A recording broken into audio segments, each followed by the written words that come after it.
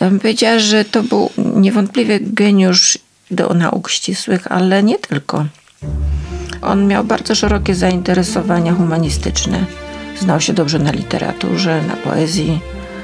Na muzyce? Na muzyce, no miał słuch idealny, no absolutny. Także ta muzyka wiecznie była w tle. On ciągle pracował przy komputerze, różne tam sobie rzeczy wyszukiwał, pisał te swoje pamiętniki, ale muzyka poważna zawsze była w tle.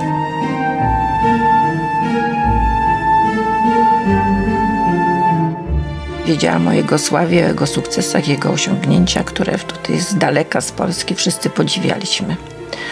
No ale myślę, że my jako rodzina podziwialiśmy, ale on tutaj w tym czasie głębokiej komuny nie był chyba zbyt znaną postacią w Polsce. Polska wtedy nie szczyciła się sukcesem Polaków w Europie Zachodniej.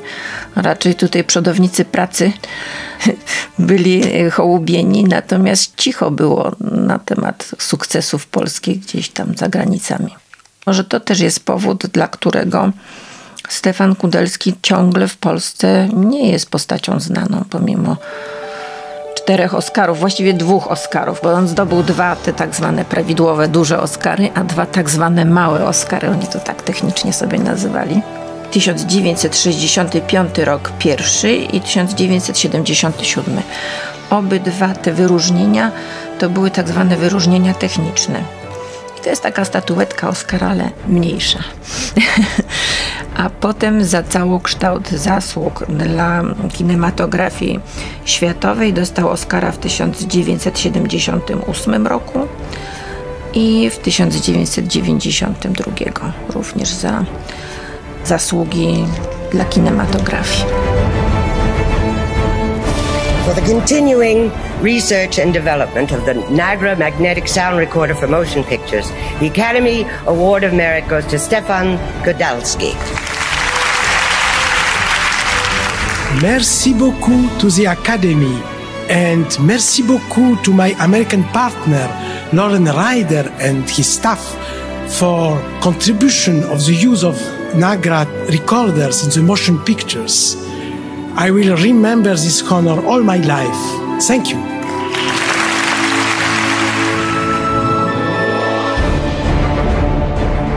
On był takim człowiekiem skromnym, który niespecjalnie się lubiał elegancko ubierać. No oczywiście na jakieś gale oscarowe, no to już musiał się elegancko ubrać.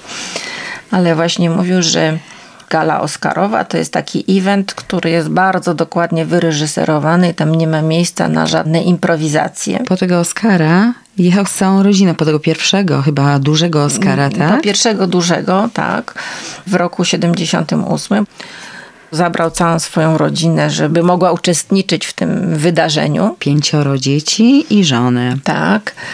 I rodzina została zabrana na taki właściwie spektakl przygotowujący do rozdania Oscarów. Jak już wszystkie dzieci były usadzone na widowni, to nagle do rzędu przed nimi jakaś kobieta zaczęła się przyciskać, zajęła miejsce. Kobieta blondynka, troszeczkę w nieładzie fryzurę miała i ekscentrycznie troszeczkę była ubrana. No i jego najstarszy syn Andrzej zauważył tę kobietę i tak szeptem scenicznym do swojej matki mówi sapua kokot. Czyli, że to tak pachnie tutaj taką no, kokotą ta pani. Takie niezbyt pochlebne stwierdzenie. No, ale myślał, był przekonany, że to na pewno nie zrozumie tego francuskiego zwrotu, a tu ta pani się natychmiast odwróciła i powiedziała, ach, vous parlez français, j'adore cette langue. Czyli powiedziała, ach, państwo mówicie po francusku, ja uwielbiam ten język. No troszeczkę było zażenowania, a kobieta, o której on w ten sposób się wyraził, to była sama Ginger Rogers. Taką anegdotką związaną z rozdaniem Oscarów, którą Stefan mi sam opowiadał, to było właśnie przyjęcie już po rozdaniu Oscarów, wykwintne, piękne przyjęcie, gdzie wszyscy goście zostali usadzeni przy pięknie nakrytych stołach. No i Stefan, uczestnicząc w tym przyjęciu, nagle kątem z oka zauważył bardzo elegancko ubranego mężczyznę w czarnym smokingu, więc według jego kodeksu własnego skonstatował natychmiast, że to musi być kelner. No i skinął niedbałym ruchem ręki na tego człowieka Przywołując go do stołu, mężczyzna podszedł. Stefan zamówił butelkę szampana. No, mężczyzna odszedł, ale po chwili wrócił. Miał przewieszoną białą serwetę przez ramię, zręcznie otworzył butelkę szampana i zaczął rozlewać szampana. Zrobił się ruch przy stole, wszyscy zaczęli bić brawo, znosić okrzyki. No więc Stefan się zdziwił, cóż to takiego się dzieje. Podniósł wzrok. To nie żaden kelner, tylko sam Rock Hudson największy amant tamtych lat kina, który usłużył mu do stołu. Także Rock Hudson wykazał się poczuciem humoru.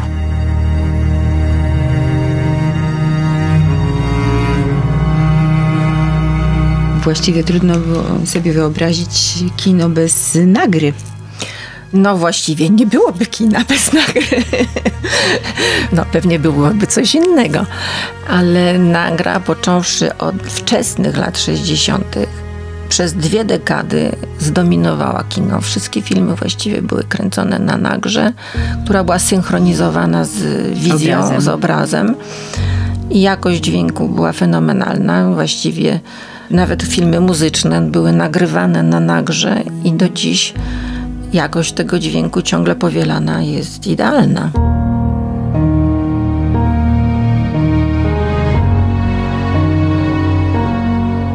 osiągnięcia i największy postęp w tej dziedzinie to były lata 50., właściwie począwszy od 51 roku do 60 roku. Bardzo wiele się zmieniło w ciągu tego pierwszego dziesięciolecia, a dopiero potem rzeczywiście wybuchła taka szeroka kariera, gdzie ten magnetofon już wszedł do wielkiej sprzedaży. Więc 51 rok, to Stefan jeszcze był wtedy na studiach i wtedy opatentował tę swoją pierwszą nagrę. To był aparat jeszcze zupełnie prymitywny. No ale już funkcjonował zupełnie sprawnie i dobrze. No ale jak wprowadzić takie urządzenie na rynek? To nie była taka prosta rzecz. Stefan sam się tym zajął. Wiem, że w tym roku 51 on się zgłosił z tym swoim innowatorskim pomysłem do Radia Genewa. Tam wszyscy obejrzeli, pochwalili, powiedzieli, że jest super, ale technicy od razu postawili tamę, opór, powiedzieli, że na pewno nie ułatwią mu wprowadzeniu tego urządzenia na rynek. Dlaczego? A dlatego, że chcieli bronić swoich miejsc pracy. Oni obawiali się, że reporter, który będzie wyposażony w taki przenośny magnetofon, już nie będzie potrzebował technika. No, w związku z czym wielki opór się stworzył. I Stefan musiał sam zawalczyć o to, żeby wprowadzić w wielki świat swoje urządzenie. A wyprawa na Mount Everest? A wyprawa na Mount Everest była rok później, w 1952 roku.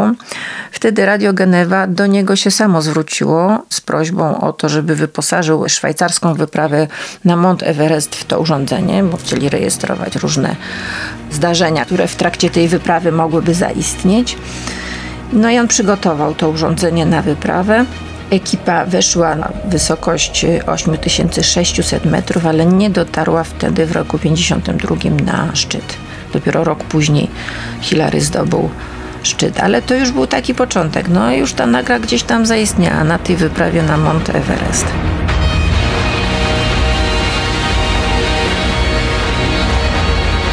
W tymże 52 roku również Stefan przystąpił samodzielnie do konkursu, który się w Lozannie odbywał. Był to konkurs na najlepsze nagranie dźwiękowe, reporterskie nagranie dźwiękowe.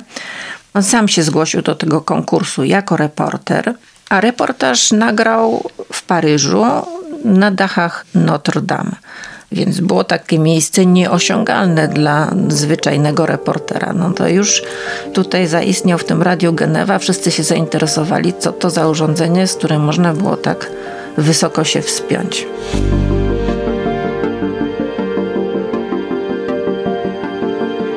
W 1953 roku następna okazja potem się trafiła, żeby wypromować nagrę. To było zanurzenie batyskafu Augusta Picard na Morzu Śródziemnym. I wtedy do tego wyjątkowego zdarzenia zjechało się mnóstwo reporterów z całej Europy, żeby uczestniczyć w tym wydarzeniu, żeby relacjonować zdarzenie. Stefan również wtedy zgłosił się jako reporter i z pokładu korwet Fenicze nagrywał komendy, które padały przy zanurzeniu batyskafu. Oczywiście sam nawet powiedział, że on może jako reporter to nie zaistniał jak nadzwyczajnie, bo nie miał do tego nadzwyczajnych predyspozycji, ale zaistniała nagra. Bo było tam mnóstwo innych reporterów, którzy jak zobaczyli to urządzenie, no to się po prostu nim zachwycili. Także to były te początki. A później już w latach 50., rok 58, 59, 60, no to zaczęła rzeczywiście przybrało na tempie rozwój firmy. Powstała Nagra 3, która właściwie już stała się pewnym standardem. Od roku 1959 stała się standardem dla profesjonalistów branży audio.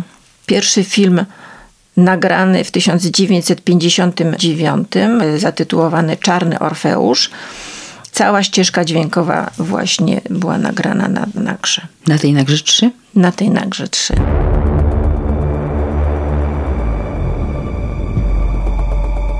Potem pojawiły się inne nagry, już mniejsze zdecydowanie. Tak, to już były lata 60., początek lat 60., kiedy zgłosili się do Stefana, jak to się mówi u nas, smutni panowie z CIA, z propozycją nawiązania współpracy, żeby wyprodukował kieszonkowy magnetofon. No potrzebny dla agentów. Potrzebny dla agentów. No, Stefan podjął się tego zadania. Co prawda mówił, że miał mieszane uczucia, bo jego taki kodeks moralny troszeczkę mu to tam, tam przeszkadzał, ale ambicje były wielkie i powiedział, podołam temu zadaniu.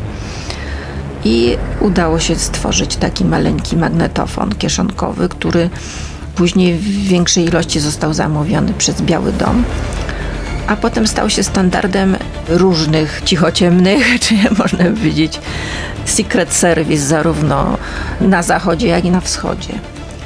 Wszyscy się posługiwali tym samym urządzeniem.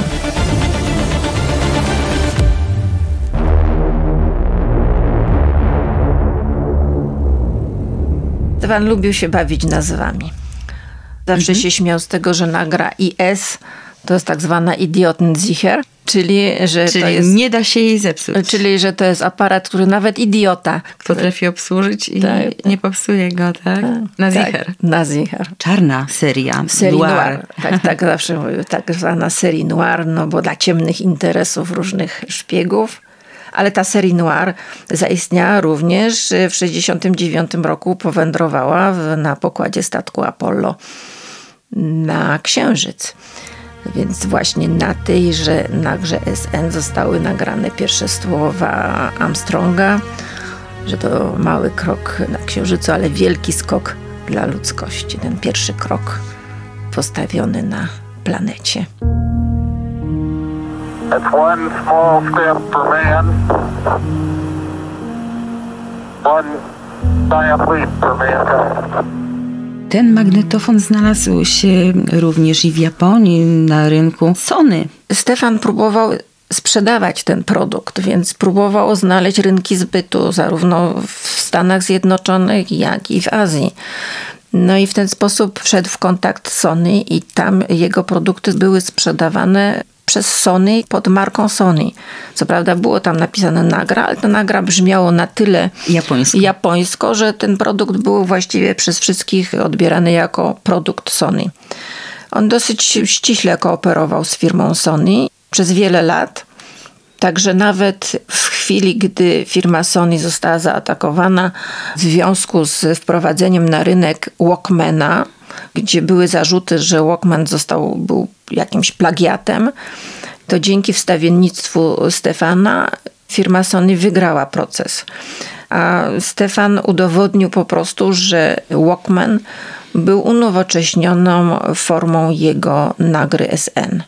Ale on był również, miał cały szereg różnych innych pomysłów. To nie tylko nagra. On się koncentrował na nagrze, bo musiał z tego żyć ale pomysły miał różne liczne inne. Związane z samochodami również, bo i smart.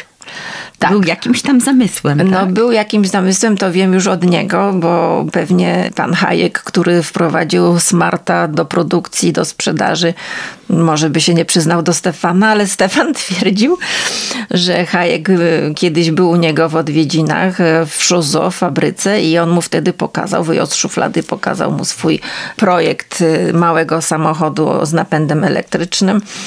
No i ponieważ powiedział, że no nie mam czasu się tym zająć, więc go dał Hajkowi, a on no, dopracował. Oczywiście to był dopiero taki zamysł, ale on się zainteresował pomysłem i go dokończył. Wprowadził na rynek.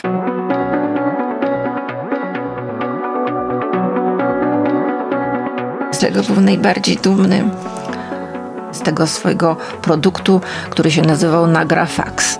Pierwsze urządzenie, które pobierało dane meteorologiczne dla marynarki, dla statków i te dane meteorologiczne można było odrobić te odczyty w postaci papierowej.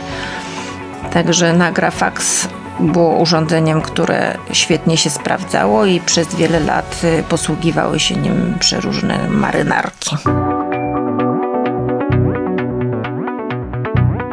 Co dzieje się w tej chwili z firmą Stefana Kudelskiego tam w Szwajcarii? Firma w Szuzo dalej istnieje i prowadzi swoją działalność, ale firma w tej chwili właściwie rozdzieliła się w pewnym sensie, bo ona ma w tej chwili dwie siedziby. Jedna jest w Phoenix w Stanach Zjednoczonych, część firmy i tam właściwie głównie w tej chwili działa i bywa André, syn, syn najstarszy. Stefana, tak, ale ciągłość firmy jest zachowana również w Szwajcarii i firma w tej chwili musi szukać nowych rynków zbytu, musi iść z duchem czasu. Czasy się rynkowe szybko zmieniają, potrzeby się zmieniają. Z tego co wiemy, to oni w tej chwili zajmują się głównie systemami bezpieczeństwa IT i są mocni w tej branży i rozwijają tę branżę. Natomiast branża audio właściwie jest taką poboczną branżą, bardziej ze względów sentymentalnych utrzymaną niż ze względów komercyjnych.